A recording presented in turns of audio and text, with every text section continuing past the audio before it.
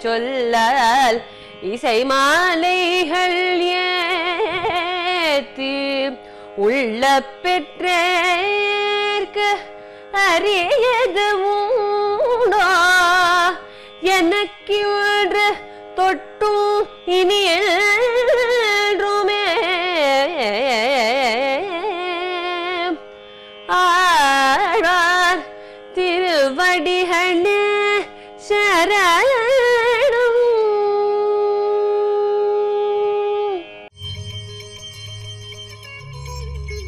வினா வெங்கடேசம் நனாதோ நனாத சதா வெங்கடேசம் ஸ்மராமி ஸ்மராமி.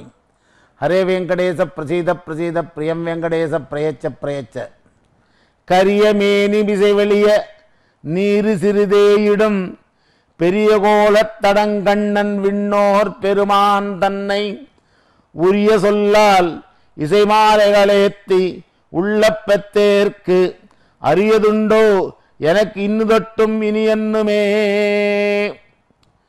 కరియ మేని మిసై. నల్లగా ఉన్నటువంటి నేత్ర మీద వెలియ నీరు.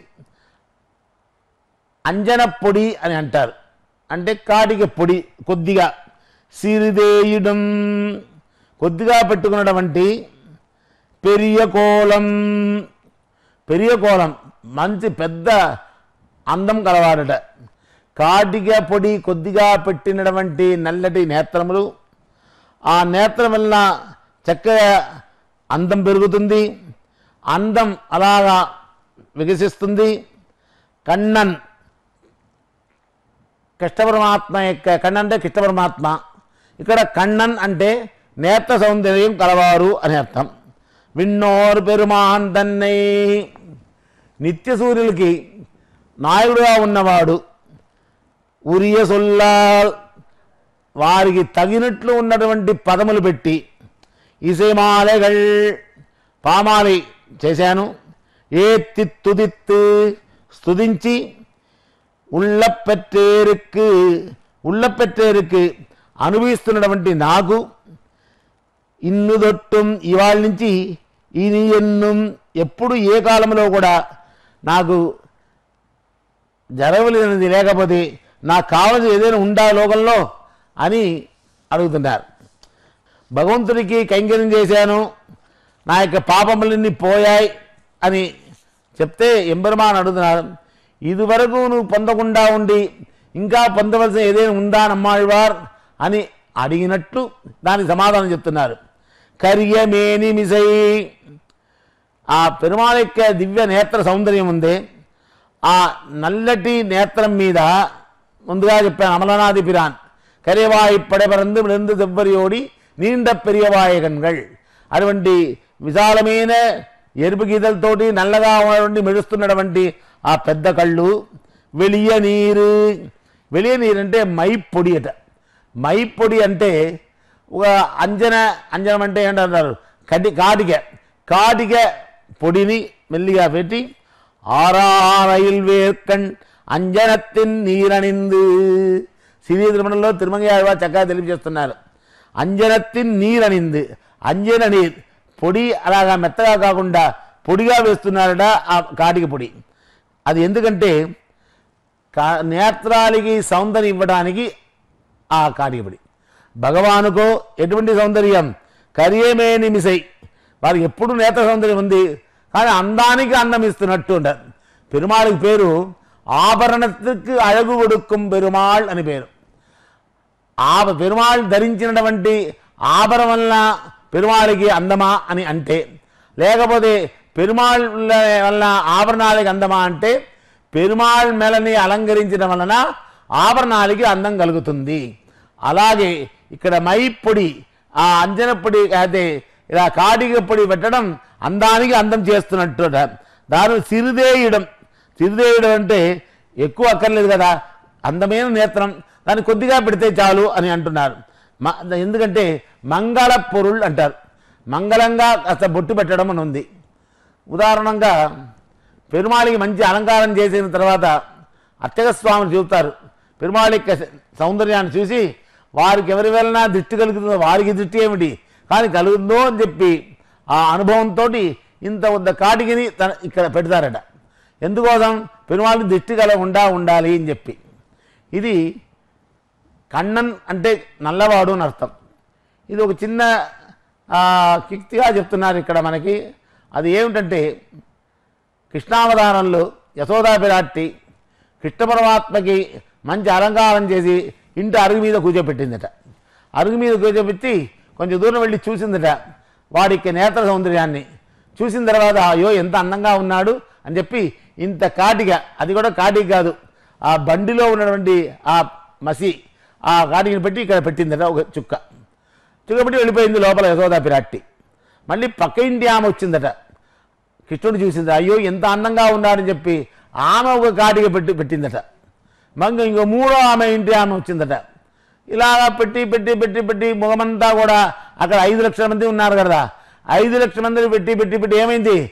మంచి బంగారంగా ఉన్నటువంటి కన్న పరమాత్మ నల్లవాడు అయిపోయాడట కన్ననెన్ను కరుందైవం అంటారు ఆళ్వారు ఎందువల్ల ఇలాగ అందరూ కాడికి ఎందువల్ల ఎంబెరుమానెక్క అందాని దానికోసమే పెరుమాళ్ తిరువీధి అంటే దివ్య దివ్యోత్సవ వ్యాధి అయిన తిరువీధి బ్రహ్మోత్సవం అయిన తర్వాత లోపల వెంచేసే ముందు వాహనంతో ఒక దృష్టి ఆరతి ఎత్తుతాడు ఎత్తుతారు వైయం దగలియా வார்கடலே நெய்யாக வேகதுரோன் விளக்காக செய்யதொடராயா நடுக்கே சூட்டினேன் சொன்மாலை இடராய் நீங்குவே என்று அன்பே தகலியான் ஆர்வமே நெய்யாக இன்புருகின்ற இடுதிரியாக என்புருகி ஞானச்சுடர் விளக்கு ஏற்றினேன் நாரணனுக்கு ஞானத்தமிழ் புரிந்த நான் చెప్పి ఒక గడదీపం అంటారు ఆ గడదీపం దిష్టి తగలకుండా ఉండటానికి అలాగే ఇక్కడ కన్నన్ పేరు ఎందుకు వచ్చింది నల్లవాడు ఎలా పేరు వచ్చింది రేపల్లిలో ఉన్న ఐదు లక్షల మంది కాటికి పెట్టి పెట్టి వాడికి నల్లవాడైపోయాడట అటువంటి అందం ఎక్కడ ఉన్నారు చిరుదేయుడం.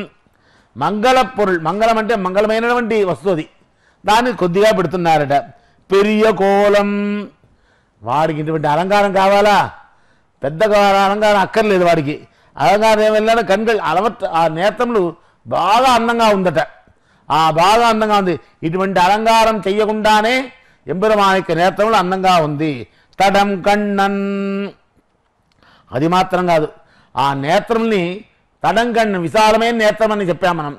లేదంటే అనుభవించడానికి చాలా ఎందుకంటే ఇంత విశాలమైన నేత్రాలు ఎప్పుడు అనుభవిస్తాం మనం అని చెప్పి అనే పెద్ద నేత్రములు అంతేకాకుండా చాలా ఇంపుగా ఉన్నటువంటి పెద్ద కళ్ళట. ఆ నేత్రంను చూస్తుంటేనే చాలట మనకి. అటువంటి నేత్రం గలవాడు ఎంబెరుమాన్. నల్లగా ఉన్నటువంటి నేత్రములు దాని మీద ఉన్నటువంటి కాస్త ఆ కాటిక పొడి తర్వాత దాని మీద వర్ణ చేర్తి.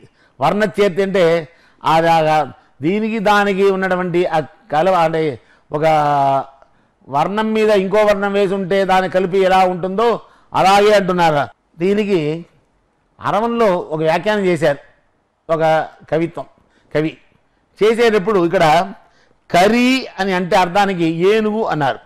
ఆ కిట పరమాత్మ యొక్క అందమైనటువంటి దివ్యమంగళ విగ్రహాన్ని చూసి కోపంతో వస్తుందట కువలయాపీఠం అప్పుడు నీరు సిరిదేయడం. అది ఒక క్షణంలో దాన్ని సంహరించాడు కిట్ట పరమాత్మ అని ఒక అర్థం చెప్తున్నారు విశేషంగా. విన్నోర్ పెరుమాన్ దన్నై విన్నోర్ ఈ నేత్ర సౌందర్యం అనుభవించేవారు ఎవరు? సదా పశ్యంతి సూరయ. సదా పశ్యంతి. ఎల్లప్పుడూ సేవించేవారు నిత్యసూరులే. పరమదంలో ఉన్నవారే. వారు అంటున్నారు ఇక్కడ. పెరుమాన్. పెరుమాన్ అంటే నిత్య విభూతిలో నిత్యసూరిలో ఉన్నటువంటి వారు అందరూ కూడా నిత్య విభూతిలో ఉన్నటువంటి అందరు కూడా అనుభవిస్తే కూడా అనుభవించి ఎంత ఉంటుంది? కొద్దిగే ఉంటుందట.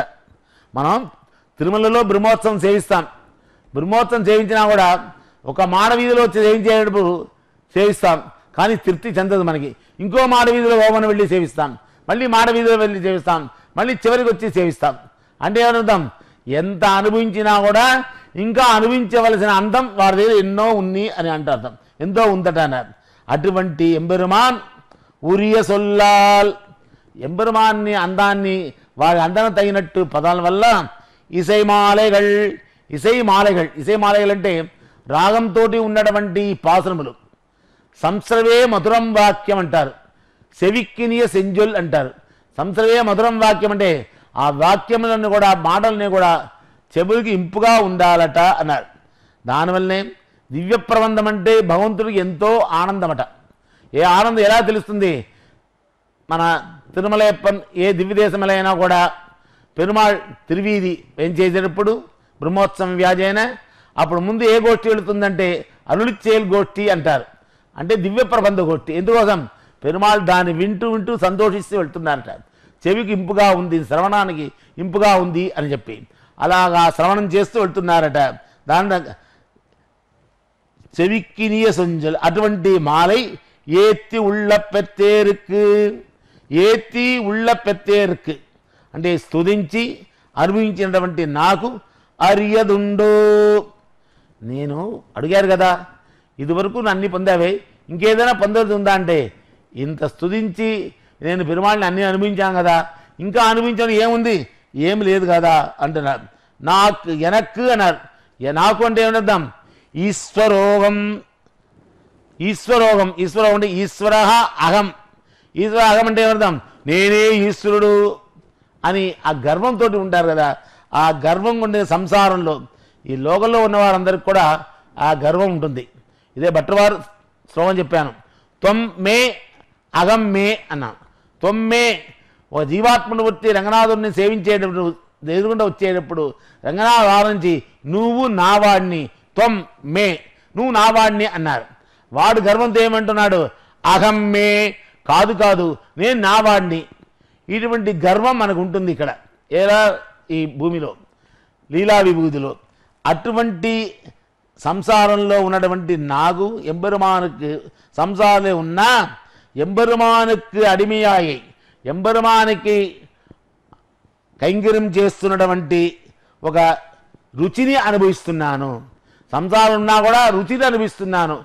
ఈశ్వరోగం నేనే ఈశ్వరుడు అనేటువంటి గర్వం ఉన్నా కూడా గర్వం అమ్మాయి వారికి లేదు. అలా ఉన్నవారు కూడా పెరుమాళ యొక్క స్వరూపం చూసి దివ్యమంగళ విగ్రహాన్ని చూసి కైంకర్యం చేస్తున్నారట. అనుభవం అనుభవం చెయ్యపట్టు ఎటువంటి కైంకర్యం ఏం చేస్తున్నాను? వాచా కైంకర్యం అన్నారు.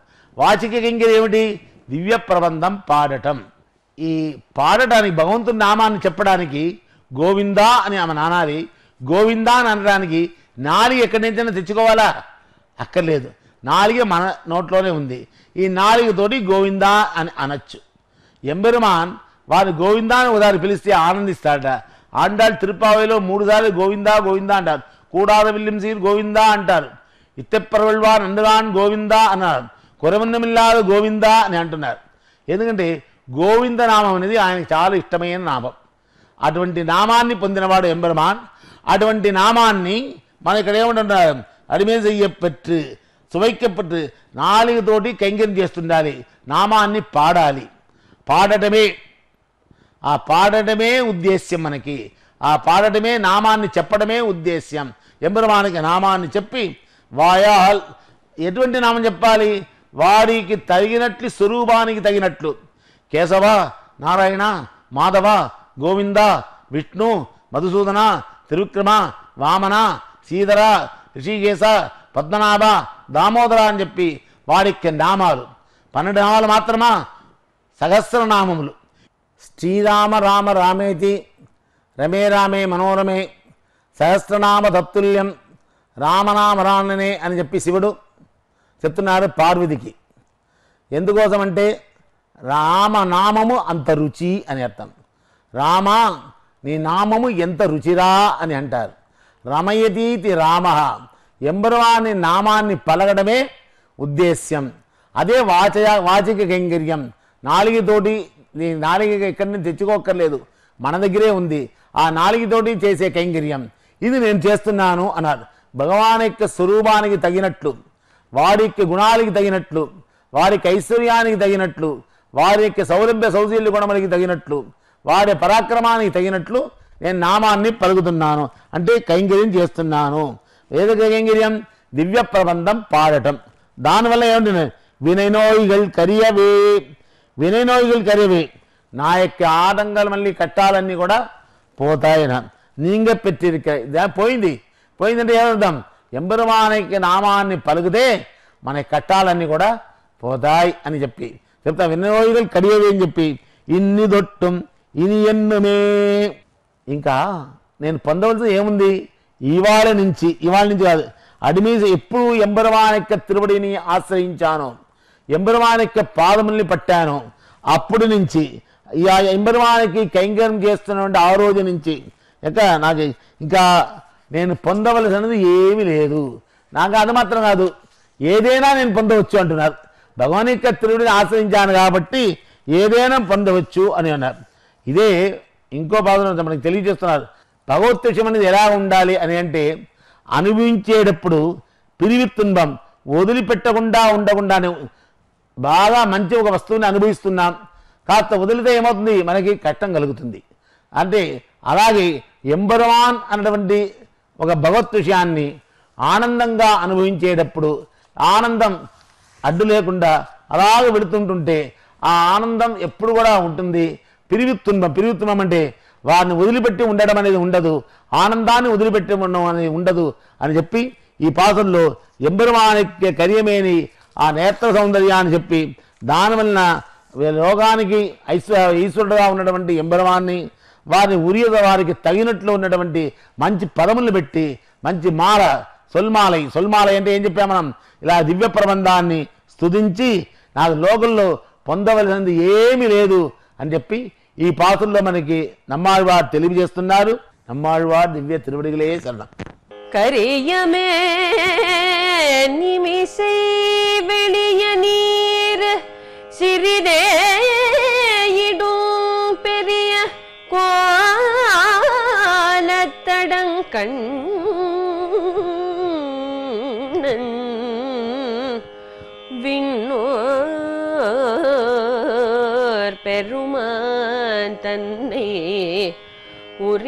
சொல்லால் இசை மாலைகள் ஏத்து உள்ள பெற்றேற்க அரியது உண்டோ எனக்கு